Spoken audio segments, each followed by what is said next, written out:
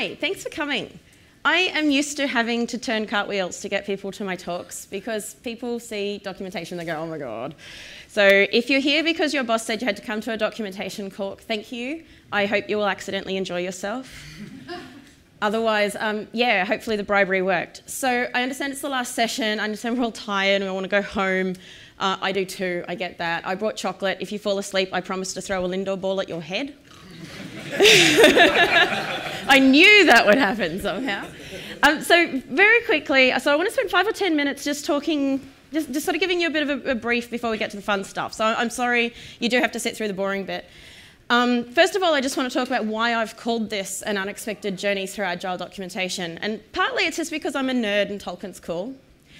Um, but partly also because unex an unexpected journey through agile documentation is exactly what I have been doing over the past few years. This is me. This is me a few years ago. I don't often put up pictures of myself. I don't tend to like photos of me, but I'll, I'll run with it for now. Uh, this is me giving a talk in Cincinnati at the Open Help Conference, which is a giant nerd conference for, for documentation people who document stuff in open source. And there's not a lot of us. So when I say giant, it's kind of like 10 people in a room. So when I gave this talk, and many talks before it, welcome, hi. Um, I, was doing, I, I was doing talks about documentation. It was a very waterfall-based method. And it's very simple to write a book, right? You sit down and you start at the beginning and you keep on writing till you run out of things to say. So it has a beginning and it has a middle and it has an end.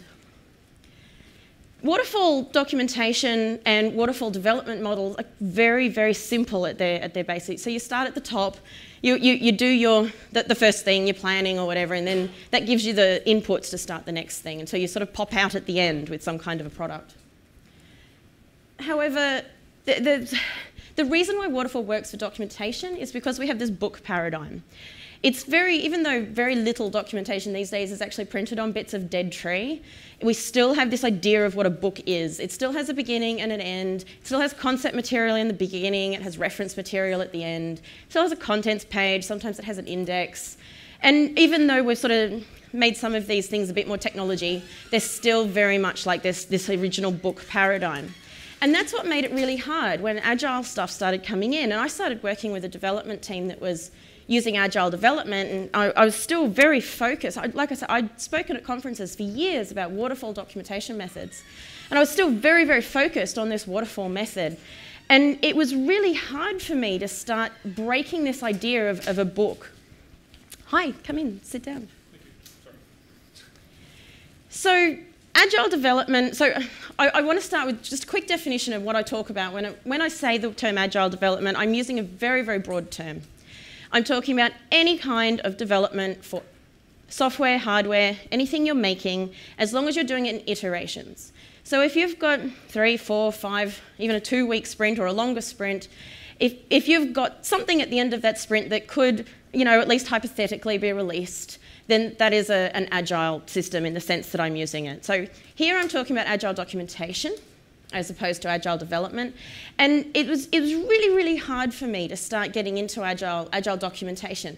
Quite, quite simply, agile documentation should not even be a thing. It shouldn't work this way. Books are very linear. And it, it was really very difficult for me to sort of get away from this linear thing and to, and to break this paradigm. And around about the same time I was trying to work out this stuff, I, so I have to tell you a story about the very first Agile project I tried to document.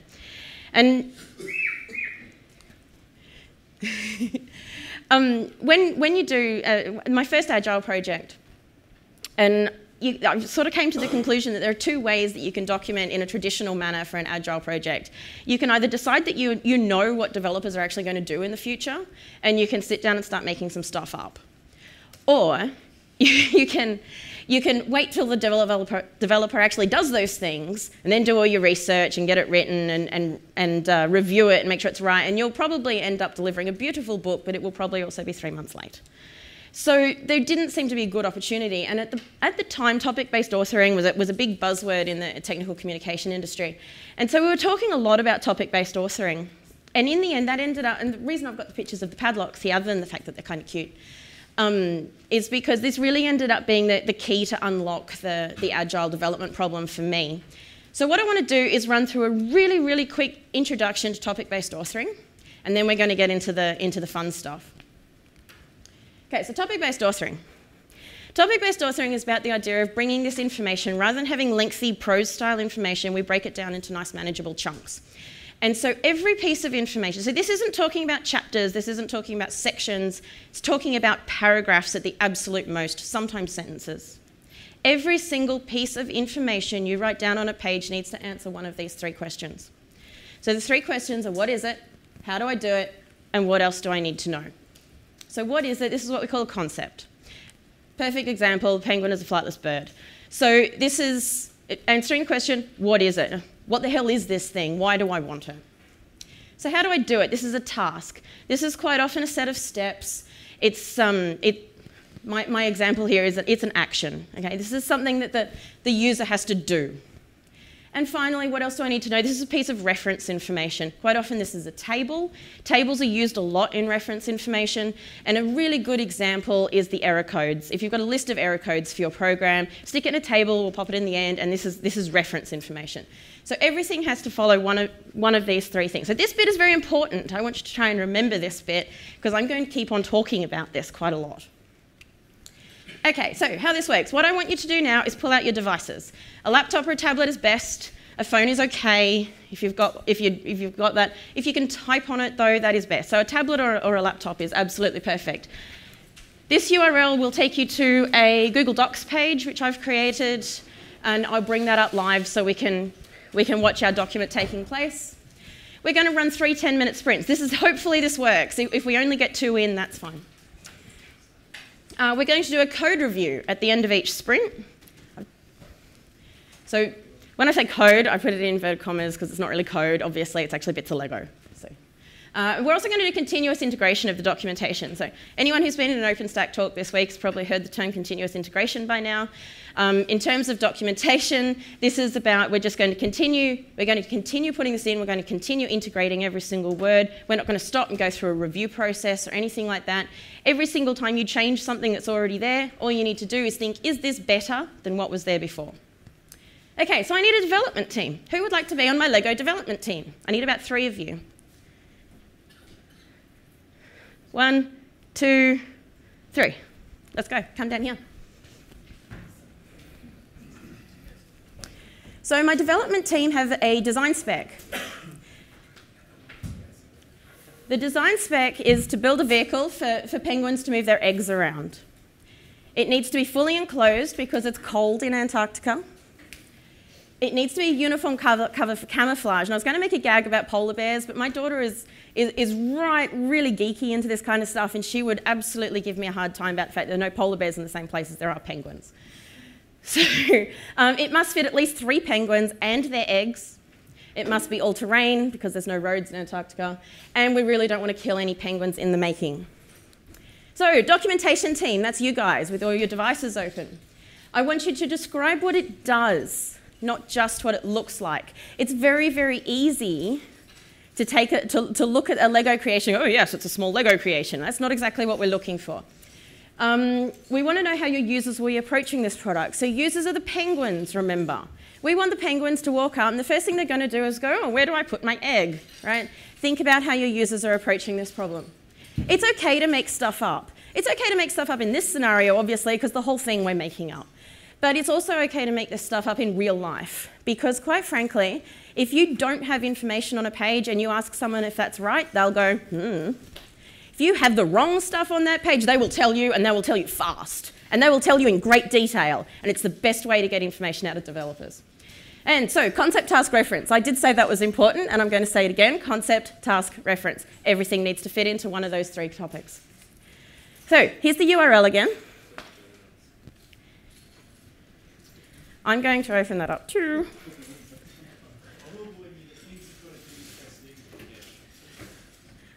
Oh my goodness, are you accidentally enjoying yourself?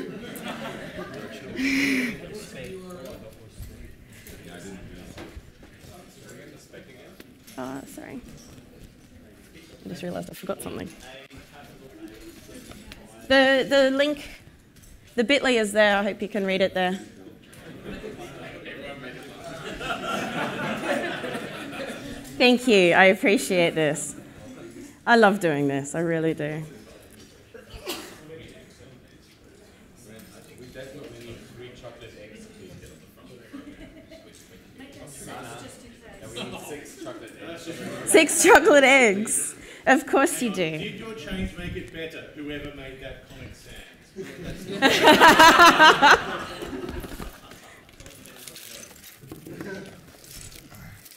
Oh, hold on, we don't have a blue one. Yeah, make it nine. That's might fine. need just in case. There you go. There you go. Okay. So I would like to start my timer. So we've got 10 minute sprints. So we're off. So do you remember your design spec or do you want me to flick back a little bit? Let me flick back briefly.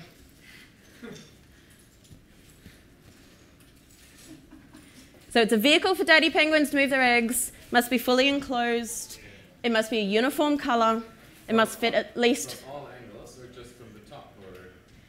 I, I think as long as it's a uniform colour from outside. Uh, it must fit at least three penguins in the eggs. It must be all terrain, and please don't kill any penguins in the making. Uh, remember, of course, this is a design spec too. So we're talking from a customer perspective. There are things that they're going to rate higher on this list than other things. And that's a decision that the, the development team are going to have to make as they go along. They might not be able to meet all these criteria. Okay, so let's get into documentation. What have we got already? Because you guys look like you've gotten a lot busier than previous groups I've done this with. So, so the, the, the, in the first sprint, what we want to do is focus on the concepts because the concepts are the easiest thing, and they're the thing we can actually do at the moment because we can base it on the design spec. We've got the same information as the development team right now, so we don't know what they're working on. They're, they're working away in, in their basement, wherever they are, and they're doing their own thing. We need to try and, and actually predict what's going to go on in this first sprint at this point. So a lot of this will be information gathering, be working from design documents and things that previously existed, working from plans, and hopefully actually talking to engineers in the hallways and that kind of stuff as well. Now with your concepts, please make sure you're using full sentences. It's really important. So Lindor balls is not a concept, it's a thing. It doesn't answer the question, what is it, right? So what we need to say is, this, this, this is a, a vehicle that will carry Lindor balls or something like that. So we'll actually try and make these actual sentences if we can. This is just fantastic. I've never done this. I love Google Docs. I Docs. keep telling people about Google Docs, you know, interactive, people around the world, blah, blah, blah. But this just blows your mind. this is much better. I, I actually keep all, my all, all the docs that are written just for my own personal amusement because every so often I like to go back and read them. Is this actually something you would do on the job? Yes, this is absolutely something we would do on the job. Um, obviously, in, in most cases, we're working in XML or something like that.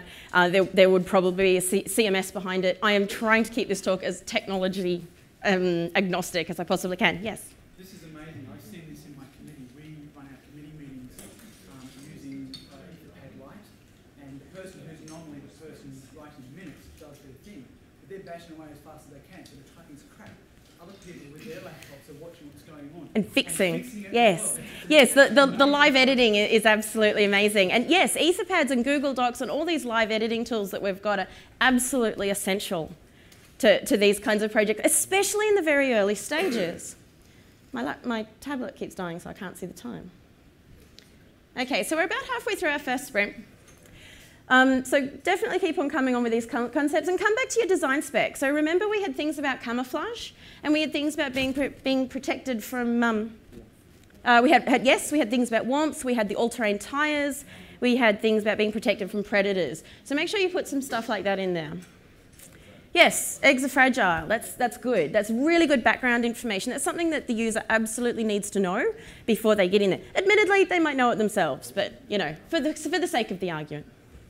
Curious that you're in a situation where several people would be writing documentation on the same subject at the same time. Yeah, so that's a really interesting part of topic based authoring. Um, quite a lot of the time, topics do get written as simultaneous, and it's really important when you go to write a topic, especially if it's a new one, that you go and search the database and make sure that someone hasn't written it before you. Um, this, this, this has become an, an interesting situation in, in places where I've worked previously, and the actual CMS that handles the topics, it's really important that we can really search that and, and be very active with things like metadata. So what we do is attach metadata to topics so that we understand what the product is, what version it is, um, whether it's uh, what audience is reading it. So if there's a difference between developers and sysadmins and end users, um, we can add metadata to topics to, to indicate that so that when you go search through, you can then pick out the topics that are important to you. Similarly, when you're building the book, similarly when you're building the book, what you can then do, because you've got the topics, okay, then you're not, you're not actually sitting down and writing this book from scratch. What you do then is you take your metadata again. You go, I want to see all the installation information for this particular product, version 2. You can then get your CMS to spit out those topics and you can arrange them into a reasonably logical order. And we can actually have robots put it into order for us as well. Because we know that most chapters should have the order of concept, task, reference, we can actually take the we can tell the, tell, tell the robots to put that together for us in that correct order. So we can see the concept, followed by the related tasks, followed by the related reference information. All the writers have to do is write their topics. The audience for this? The audience for this document is the penguins End users? and the end users, absolutely. Yeah, I, I don't know how localization works, to be honest. I don't speak penguin fluently. Um, my daughter is a massive penguin fan, though, so possibly she'd be able to help us out. We could, we could bring in some, some external help to help us, help us translate this. Uh, please remember, we've got a lot of background information, but we don't have a lot of. Oh, something died. Oh. you now know what I call my laptop. So you don't want to know. I'm a Big Bang Theory fan. Go Team Leonard. Um, so yeah, so make sure we've actually got concepts. We haven't talked much about the vehicle itself at this point. So I think we can probably make some reasonable assumptions about what colour the thing might be. Uh, we could probably make some reasonable assumptions. I don't think we've mentioned anything about the all-terrain tyres at this point. Oh, we have. My apologies. It is there. Wow, you guys are so prolific. It's amazing. I wish I was this prolific. It'd take me days to write that much. that, that probably has something to do with the fact that I research things. Does that mean you're now going to have a Google Doc and have like an army of 10 people that write all your Absolutely. I reckon this is a great idea. I'm onto it. I have a new documentation documentation idea. Projects are in where there's more documentation writers than developers. Um, I, I actually I, I do normally mention this that the, the numbers are slightly skewed in this example.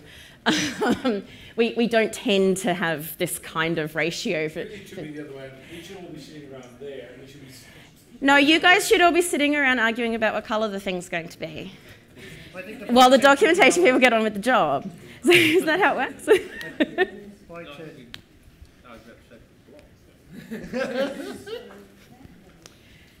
okay, I think our sprint is just about up. This is a requirement spec, not a documentation. Yes, but it will be it will begin as a requirement spec. So, so the comment was that it's a requirement spec, not a piece of documentation. That's absolutely correct because that's the only information we've got to work on. We don't have anything other than requirements at this point to talk about. So we've got to base our ideas on requirements. So remember, it's fun. Thank you. I, I, I thank you. I appreciate that. Um, so yes, absolutely. But remember, it's okay to make assumptions. Start, start writing about what this thing might be because we can iterate over this. Remember that whatever we write, with any assumptions we make now, once we've seen our code review from our developers at the end of the sprint, we can then go back and fix it. So remember what I said, it's okay to make stuff up. It's okay to write fiction. Uh, The first draft of any technical manual is always mostly fiction. I am very, very good at doing things like, and this thing will have this feature where it does this stuff, and then you just put a big fix me, go ask the developer. So you, you do come back and and I actually would argue that the terrain types are reference information. So whoever's writing that piece, I would actually cut and paste it further down into the, into the reference section. The terrain types. And, and the trick here is because you've got bullets. It's very easy to pick out reference information. Yes, up the back. So the three things that, that every topic must be are concept, task, and reference. So concept answers what is it? Task answers what does it do? Reference answers what else do I need to know? I, I like the use of the, the question marks here. That's very useful. Um, so generally in tech writing world, we use the term fix me all in caps. Um, the question marks will work as long as you're standardizing and all your writers are using the same thing so you know to grep through it and find them before you do it. Yes? Uh, that's what I really like about Sphinx because they actually have a to-do item. Yes. So you see all of that at the end on one page and you can very easily go through Absolutely. So, so uh, the point was that the, the, the Sphinx um, um, development tool actually, actually has a to-do thing. So when you go through the end, you see the list of all the to-do items. Um, I've used systems in the past where you can turn fix me's on or off. And if you turn them on and then build your book, it actually comes up in bright highlighter yellow in the, in the built book. So you realize it's there and you can, you can bring it back out. Okay, that's the end of our sprint. I'm sorry? No one has made a declaration. This is a vehicle for transporting penguins. Yes, that would probably be a good thing to say. okay, development team, end sprint, tools down. Can we please have a demonstration of what you have done so far? So we can see here, so it is a bit blurry, I'm sorry for the resolution, but if we can please have our uh, Scrum Master, who's, who's going to be our Scrum Master for this round? You, Miss Scrum Master? If you could please do a demonstration on the camera for us, that would be great. So the, uh, these are, this is the undercarriage. It's ready to go. Um, that will bolt up underneath the vehicle here, which is not complete yet. We, we chose grey as the colour. Uh, Grey is the colour, so can some, somebody on my documentation team make a note of that for next sprint? Um, so yeah, the um, colours are not only grey; they're, they're an Arctic camouflage scheme incorporating black and grey and. I should be white. mi- sorry, I should be miking you, shouldn't I? Um, and um, as you can see, we are attempting to enclose the. Hang on, I just need to rotate it for the camera. We just need to. Uh, we're attempting to enclose the sides. This far side is nearly complete, and um, we're now proceeding for a demo now. Um, we don't have the wheels attached now, so it's a bit hard to actually demonstrate mobility. But uh, conceptually, we're on the right penguins path. are already in. Yep. He, he, he, he might lie down that one. He's quite tired. It's been a busy day. Been Um, so, so what are your what, what are your plans for fully enclosing? Um, well, this is this is part of the roof structure yet to be fully f- finalised. Uh, we have uh, a few more components here ready to go in, and um, yeah, something like that. Excellent, excellent. Um, and it's going to have all-terrain wheels. Is that correct? Uh, yes, these wheels are fully certified all-terrain ones. Best you can get. um, yep, we um, we chose those over these piddly little ones because these are more all-terrainy. Lovely. Yep. And and have you killed any penguins so far? Um, no, although they have been declothed on account of the fact that they were a bit too big when they had their um, shawls on. So now they're. Sh- Oops, there goes Their, a penguin. their penguin eggs are delicious. I think we killed a penguin. All right, we, we, o- we overspect on penguins, so that's good. Okay, thank you very much. I'm going to reset the timer for our next sprint. I think I've broken my microphone. No, no, no, no. Keep going. Keep going. Keep going. There, there are plenty of chocolates. I, I, I, everyone seems to have stayed awake so far. I'm shocked. Are you gonna tell us what they're doing afterwards? Because we're sort of not saying anything. Where did it Not just like It's probably mostly like how software developers work anyway. More or less in the dark. Like mushrooms, really. Okay, so our second sprint has just started. And for the second sprint, it would so first of all, what we need to do is iterate over our concepts and ensure that we've gotten this information correct. So we've just had our code review. We, un- we understand a little bit more about the system now. We've, we've got our eyeballs on it, and we've, we've been able to have a chance to ask some questions of our developers. So you need to iterate over the topics you've already got, ensure those are correct, update them in any way you can, and improve them. And also start working on our wow, there's an awful lot of this. Um, also start working on our tasks. Um, I like step zero. That's very good. So, um, one, one thing I would say about this particular task is that it doesn't have a title yet. What's, what's actually going on here?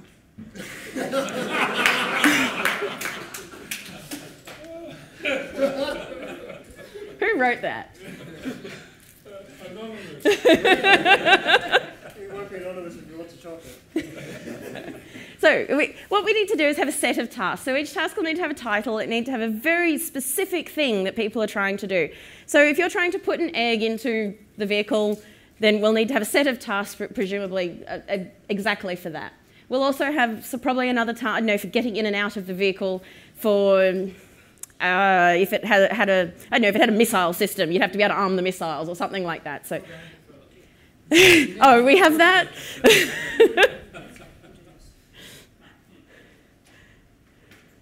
Load eggs into the vehicle. Very good. Yeah, this is awesome stuff. Excellent. Excellent. So tasks are surprisingly difficult to write. So, am I allowed to be reading the doco at this stage? Yes, of course you can. That says get up to three penguin eggs, which is sufficient. Uh, yes, we did. We did say at least three penguins, didn't we? Three penguins and their eggs. Yes. What do you mean at least? At least. No. That's okay. You you can make Three that. eggs. You can make you can make that development decision. That is entirely up to you. Just keep trying. Right? Who wrote that? So when I when I have done this talk previously, hurts when I hit you in the head with a chocolate. It doesn't say that the eggs can't be smashed. Yes, it does. I am. I am. So, so when I've done this talk previously, I've, I've run with an entire Hobbit theme. This is the first time I've decided to get the penguins into it, and so it lends itself to amazing hilarity. And I'm really, really happy actually that the penguin thing has gone the same way. So this is very awesome. I love it when I try something new and it actually works. Um, so, I mean, I, I have done whole presentations just on writing processes. Um, writing processes is really, really hard. And it feels like it should be easy, right? Because we see processes all the time. And I mean, every single badly translated manual that you get for every single cheap little bit of crap that you buy has steps in it. And it should be easy, it seems really logical. Sometimes, especially with very highly technical things, it can actually be really difficult to work out where one step ends and the next step begins. And things like if you click a button and a, and a box pops up, is the button click and the box popping up two separate steps or is it one? Ideally, you should always keep a reaction in with the action. But sometimes that can actually mean your steps get really, really long. Sometimes you can find that you get to step four of a process and you've got all these sub steps. Sometimes you can find you can get to, to step four or five, and all of a sudden you're, you're branching out into two possible different things that could be going on. So, processes are really, really difficult to write. Um, there are actually there are logical differences between processes and procedures as well. So you can. Oh, I love this. It's a Google car. Who wrote about driving the vehicle without hands? Who's anonymous turtle? Penguins don't have hands. No, they don't. They have wings. um, I've forgotten where I was going now. I completely lost my train of thought. Branching off in process. Um, yeah, so, so processes and procedures are really, really hard to write. And it's really easy to do silly things like bring in anthropomorphization and that kind of thing. Computers think, apparently. According to every single process I have ever read, computers think. And they don't. They might process stuff. You might give them, give them some information and they take a while. But uh, computers don't think. And, and those kinds of things come up again and again. Um, you, end, you can end up very easily. Um, parallelism is my favourite word, and anyone who's come to any of my talks will have heard that one from me before. Um, and it's really easy. All of a sudden, you could change, change tense halfway through. Your sentence structure changes. And so, processes and procedures are actually remarkably difficult. And if you're interested in this, I, I highly recommend you, you seeking out one of my procedure talks, which I do fairly regularly. And, and I think there's one or two on the internet floating around as well.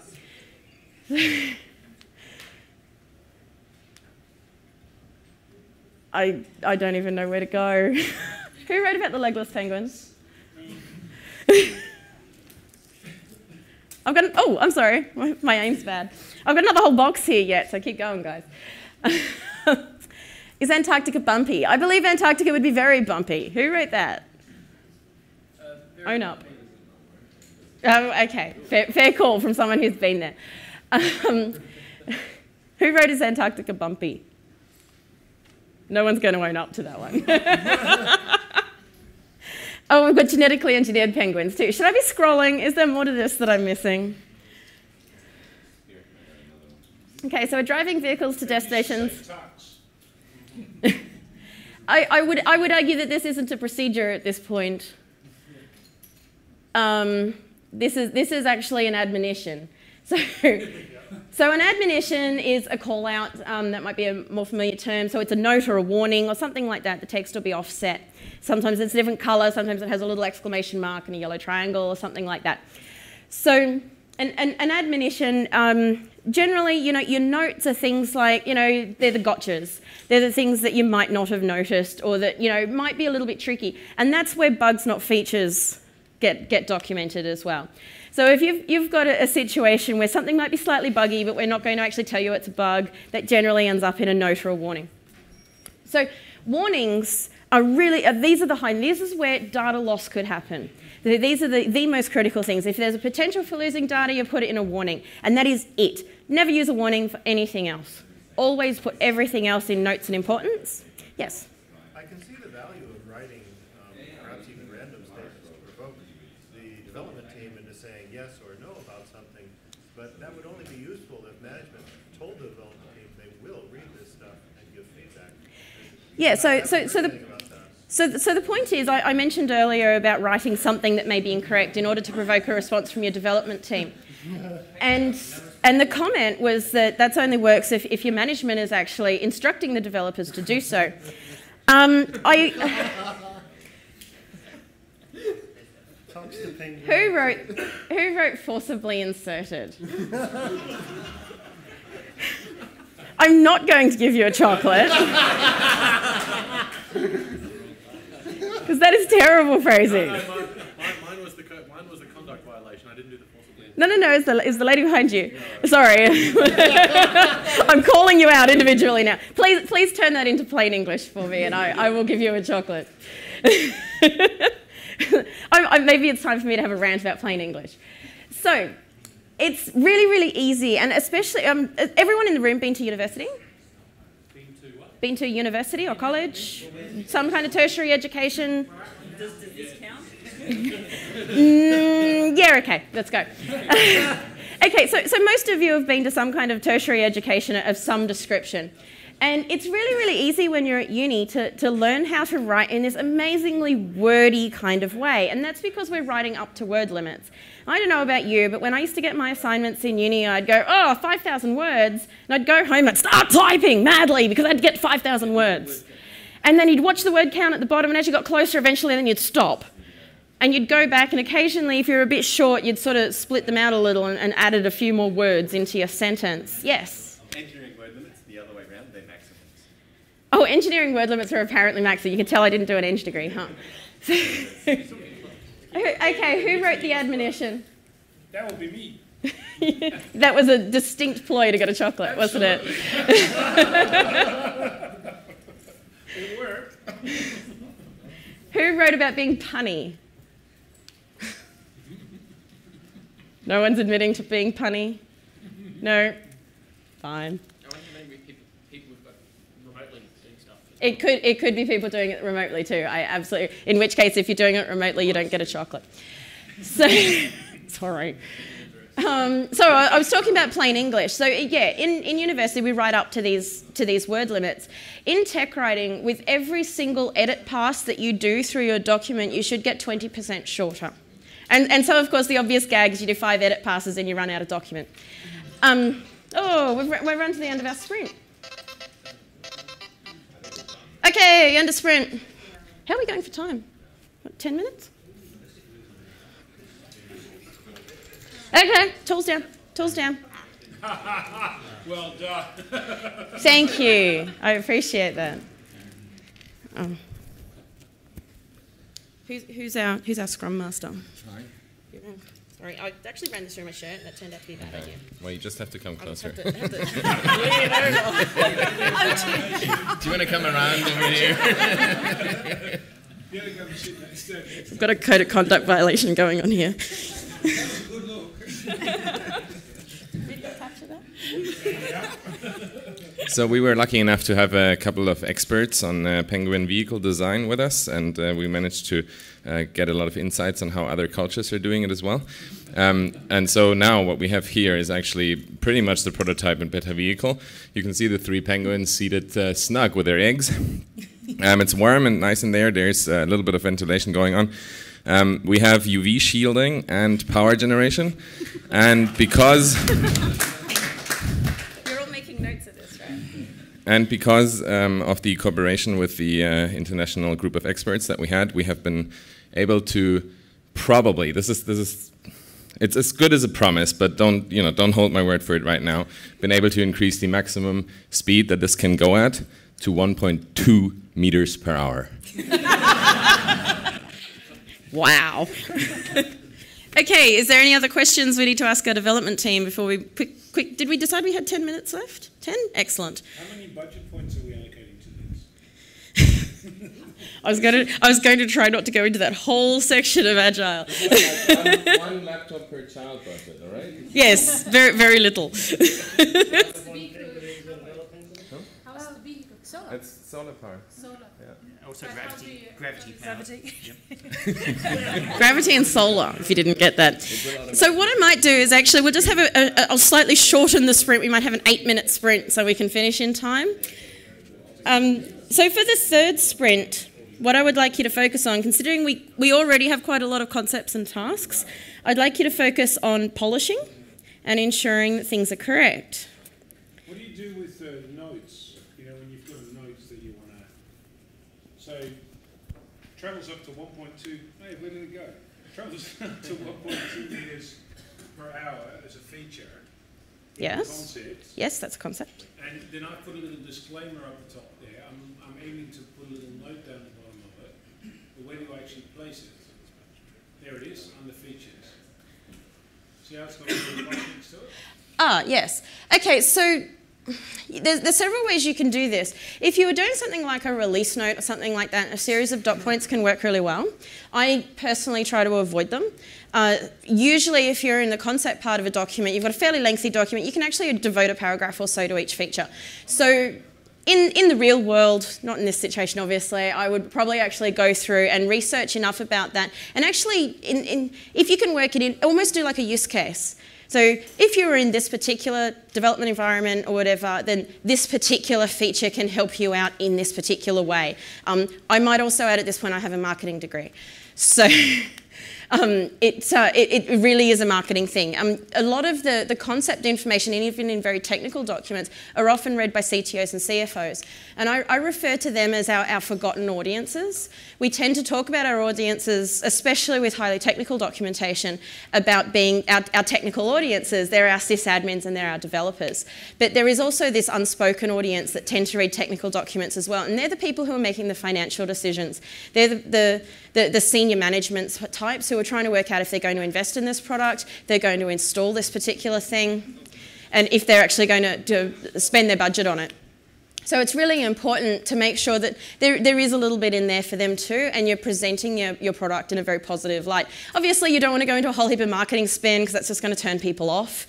But it's really important that you use very simple, very, very plain, I shouldn't say simple, very plain language, and that you're, you're promoting the features of it in a very concise and easy to, easy to consume way. And that's for those, those hidden audience members. How are we going? I've got more chocolates left. I should be handing out more chocolates.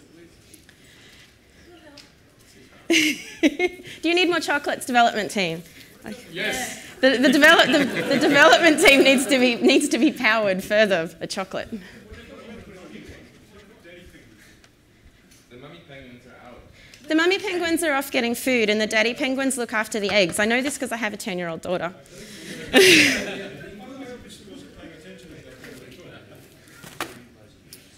so how are we going with our polishing? Oh, flux capacity. Who wrote about flux capacity? Thank you, Mr. Davies.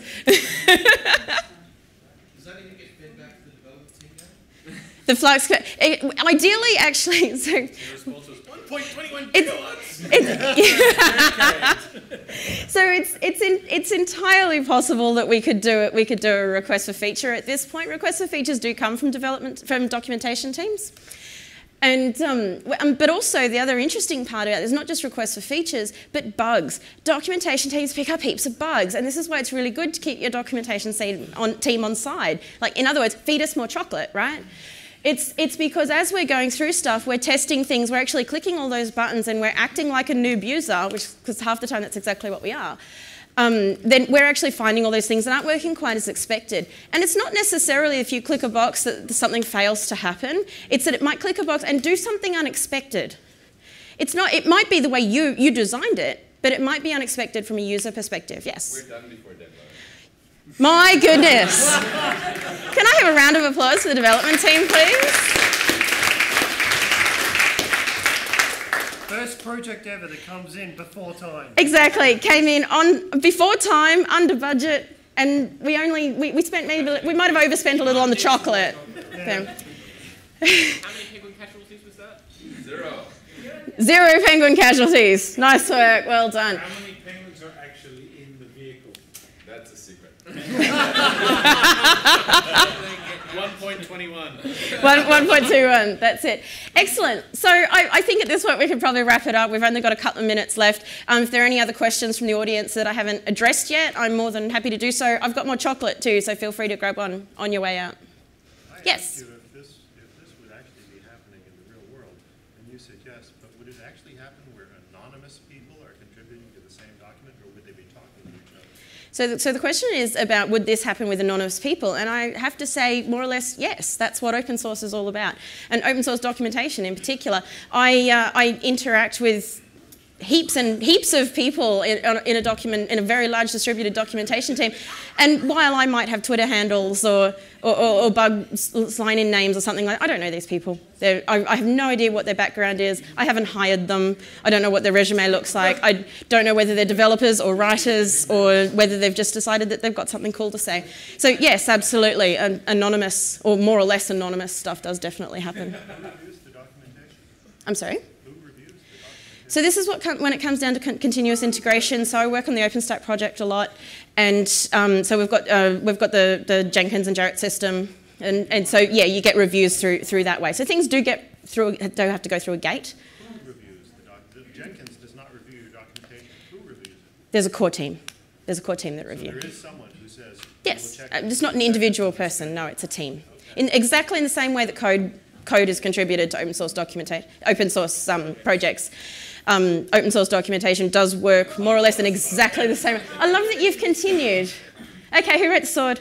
This accompanying product with the five penguins, we didn't talk about it. Oh, sorry, that was terrible. Yeah. Oh God, I'm getting worse. Worser. I got worser. I don't know if I can get that far. anyway, so thank you very much to my documentation team. I hope you've all enjoyed being a, a, documentation team for an afternoon if you don't normally do this as your day job. I hope you learnt something. I hope you got something out of this and you can go back and tell your boss that yes, you went to that documentation talk and, and, and you got something out of it. Um, if you do want more information, please feel free to contact me. I also want to very quickly do a little plug for myself. I am working on a book at the moment about agile documentation.